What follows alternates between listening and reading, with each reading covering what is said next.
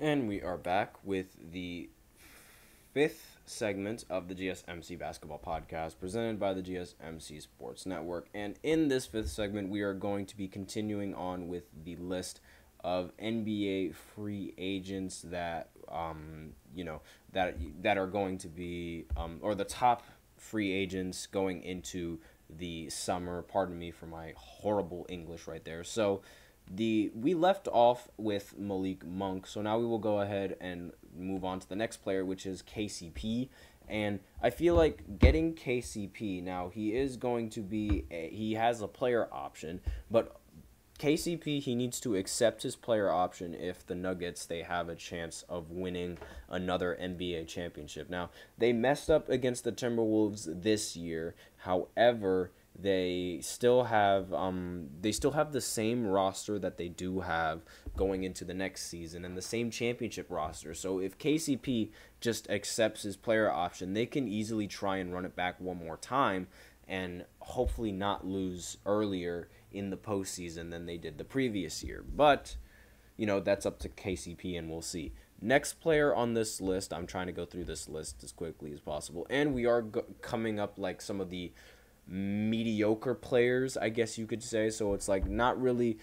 Again, it's a very, very big class of free agent players, and it's like not everyone is a top player in the league, unfortunate as it is. This is just my opinion. So, next is D'Lo. He is, you know, he played for the Lakers. He did not have a very, very good. He did not have a very good season in the postseason, I should say. He did not have a very good postseason, but he did play really well in the regular season. And you know that postseason performance, it was just you know one perf- one or four five bad games, like you know it was just a, it was a sample size of five games and it wasn't like he played really well in those five games. And it's like you know he's making 17.3 million dollars and he does have a player option. I have a feeling he's going to accept his player option even though the lakers might not want him on the team after selling like he did. I mean like he was just horrible in the playoffs. It was bad. And I don't even want to talk about him anymore. Let's move on to the next guy. And next up is Miles Bridges. I don't want to talk about him. Next uh, is uh, Tobias Harris. Now, I will definitely talk about Tobias Harris. Now, he is the he is under fire under these under the Sixers media. He is definitely one of the scapegoats for the loss between the Knicks and the Sixers. Uh, Tobias Harris was historically bad in the postseason, and he was it was bad. It was just atrocious. Like he was a non-factor in several games in the postseason, and he was just it was almost as if like he wasn't there, and um, it, it was like he just didn't help the team like at all. I'm just pulling up his game log right now, but like I don't remember him doing contributing anything in the postseason, and I believe he dropped zero points in in an elimination game. Let me just go ahead and make sure. Yep, he ended the game 0 for 2 in an elimination game in between the Knicks, and he had seven points in game one and eight points in game three and the most points he scored was 19 points. Now, this is definitely like a player that the Sixers don't want don't want to be spending so much money on. He's going to be an unrestricted free agent going into the going into the next season, and I think the um I think the team should just uh, the I think the Sixers should just let him walk. Like after that terrible performance and they need to let him walk. Otherwise, I don't really think they're going to have enough money to be able to convince Paul George to join the Sixers. Which brings up the next player on this list that's most likely going to also be um, let go off the let um let off by the uh, Sixers is Buddy Hield. Like the the Sixers, they aren't going to pursue him in free agency. I don't think.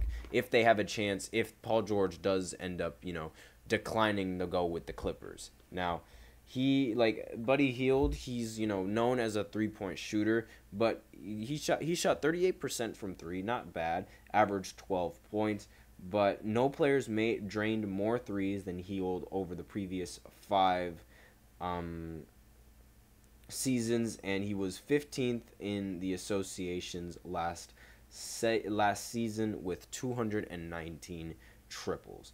So again, another just a great role player that is coming in for the um, for the Sixers and I wouldn't be surprised if the Sixers end up letting him go in the hopes of being able to get Paul George. Again, that is just the big that is the big dream to have a big 3 in the Eastern Conference to be able to compete against the Big C. Oh, well, that was horrible, but you know, let me know in the comments what you guys think. Now, Klay Thompson, he is most likely going to test the free agent market. I've talked about him several times on this podcast and you know, being under contract for $43.2 million and expecting to test the free agency market while looking for similar compensation is going to be a very hard task, especially with the numbers that he is averaging. That is all I really need to say. If you guys want to really like listen to what I have to say about Klay Thompson, you can go ahead and watch some of the other podcasts about Klay Thompson or the individual episodes I do have about him. Now, next is Tyus Jones. Now, he was one of like, you know, the only bright spots in my opinion for the for the Wizards. Now, it really is unfortunate that the Wizards they're paying Jordan Poole all that money and Jordan Poole isn't really um, as impactful as I feel like as this player. There is a chance that you know the Wizards end up giving him a lot more money because he is an unrestricted free agent going into the next season. But making more than Jordan Poole or making as much, I don't think so. I wouldn't be surprised. I would leave honestly. I would. I would suggest leaving and maybe joining a team like the Spurs, so that way you can play with Victor Wembanyama, something like that. Definitely a better option than playing with Jordan Poole. But next is Jonas Valanciunas. Now, he ranks sixth in total rebounds and seventh in double doubles. Um, since being acquired from the Grizzlies in 2021, and he has you know his limitations as a defender, but he's developed a great three point shot. He's shooting 30% from three as a center. That's pretty good and he's been, you know, a um, pretty good presence for the Pelicans towards the middle. Now, the Pel- the Pelicans they are kind of looking for a rim protector, so I'm not entirely sure how Jonas's contract is going to hold up. You know, he's making 15.4 million this year, but we'll go ahead and we'll see how much like um whether or not they decided you know to take the team in a different direction than taking the team in the direction of you know having the um, what's it called? The option of having the uh, a rim protector as opposed to having him. But we'll go ahead and we'll we'll see what they do. Um, coming in from the sports, um, TJ says Jones deserves better than the Wizards. Love the idea of him on the Spurs. Wemby needs a real point guard. Thank you for agreeing with that. I really like. I feel like that's sort of like in his um uh, in his budget and definitely like um, also in like you know the Spurs budget because it's like really difficult to convince. It would be really difficult to convince a big time free agent to be able to, especially like when there aren't really that many big time free agents. If you really think about it, um, going into this offseason that are like you know young enough and in a good enough spot to like compete with Wemby. So, but next on this list is Isaiah Hartenstein, and this is one that is like it's going to hurt a lot of New York fans because he does a lot of the grit and he does a lot of the things that a lot of players don't really want to do. And, you know, he brings that value to the team. He's going to be an unrestricted free agent. And again, OKC seems to be the landing spot for a player like this and it seems like you know they're going to try and pursue him. Another player that gets known for doing all of the dirty work is Bruce Brown, former Nets legend. Love the guy, great player fantastic rebounder, fantastic um, offensive mind. He won the NBA championship with the Denver Nuggets. He was a very important piece to that puzzle, a 3 and D player. Um, he's making $22 million, however, which is a lot. That is a lot of money. Coming in from Bruce Brown. And, you know, he does this is um he's under a team option, which is relatively which is really rare. And I believe he's the first player on the list that I've mentioned that is on a team option. And he's reportedly like the franchise is reportedly set to trade him around the draft after picking up his $23 million in salary for 2024 and the 2025 season. The club has until June 29 to officially exercise the option.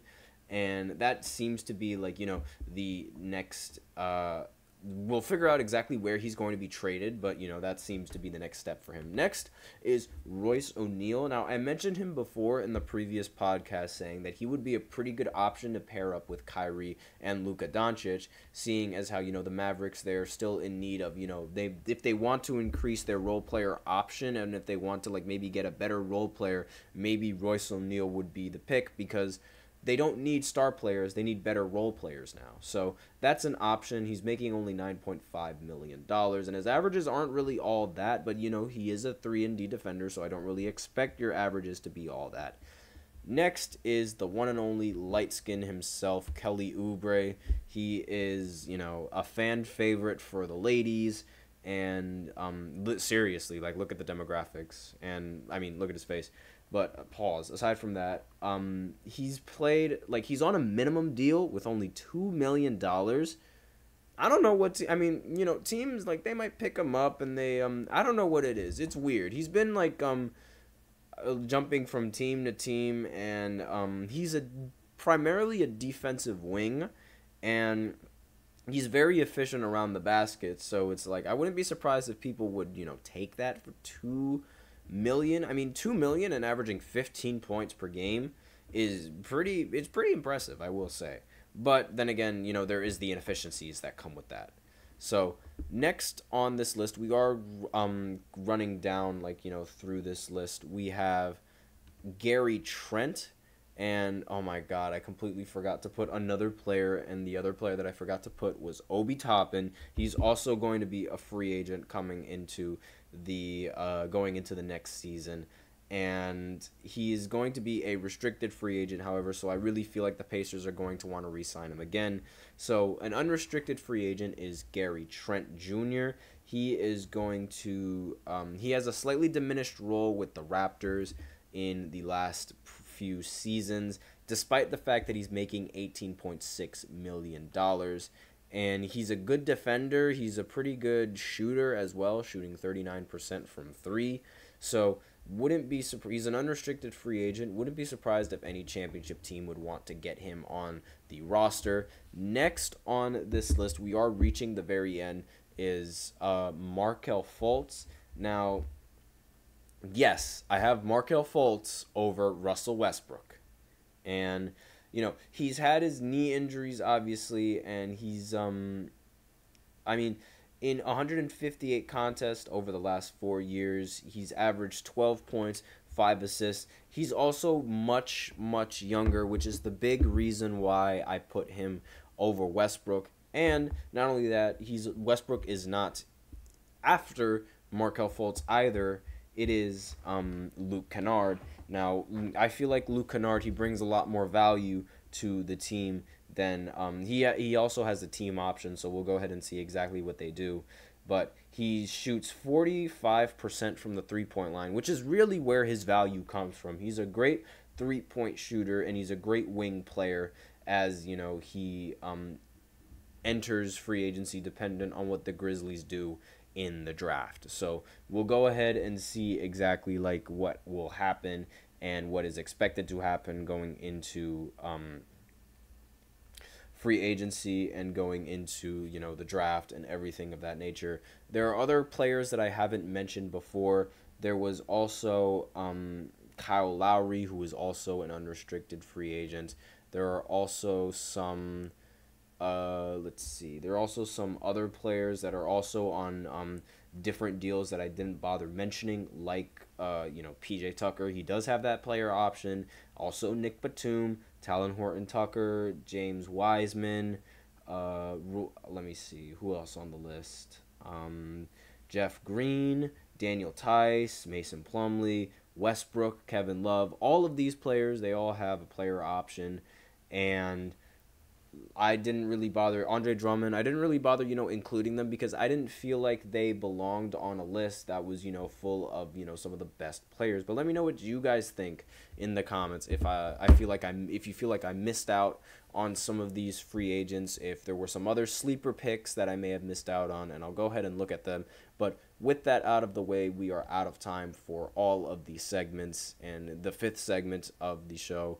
So that is it for the podcast. Thank you so much for tuning in to the GSMC Basketball Podcast presented by the GSMC Sports Network. Your support means a lot to us, so please remember to subscribe to the show, leave a positive review. It really does make a difference. We also invite you to follow us on Facebook, Twitter, TikTok, and Instagram for more content and updates. As usual, please remember to use the link in the description to get your comments recognized or the link displayed below the ticker on every single show segment. That is gsmcpodcast.net. Really helps your show, makes the show much more interactive between myself and you guys. Once again, really helps the show. Link is gsmcpodcast.net. That is all I have for you in this in this fifth and final segment. Thank you so much for tuning in. I am your host, Nelson, and as always, take care.